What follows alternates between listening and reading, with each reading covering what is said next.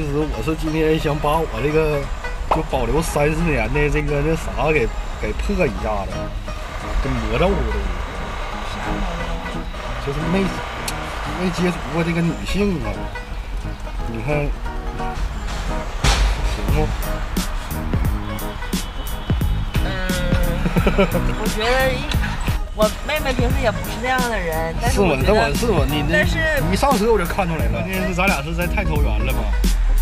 我这一看我这着急了，这样子吧，哥哥，你选个地方，咱们现在去行吗？然后正好妹妹也没有坐过这个这么好的车，然后然后哥哥能不能带我？你感觉这车好吗？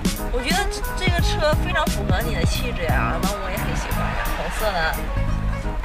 那妹儿就是你要是这么说的话，就是我给你提个那啥行吗？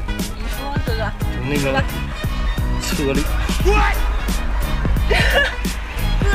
里，你这是敞篷车，不是，我说那棚能关上，但是这个车都是咋的呢？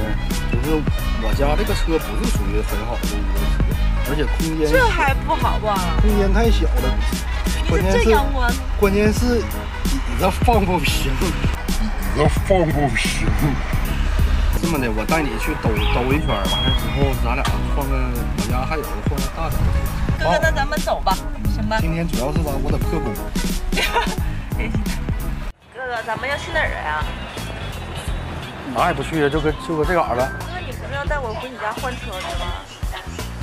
这换了吗？这不换换那个了吗？这个地方地方大，我一看。我哥，你真能说相声。我前看前面那个车就挺好的呀，那个车还回去了吗？到点儿了，来开始吧。不是你的车呀。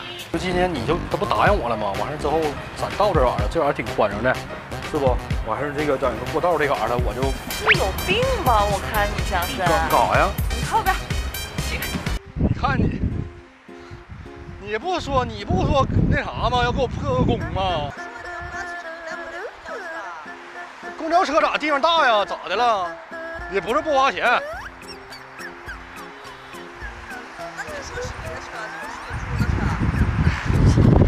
看老妹儿，我跟你闹着玩儿呢，你怎么这么不禁斗呢？咱俩咱俩打个出租车也行，给人家让司机做个见证呗。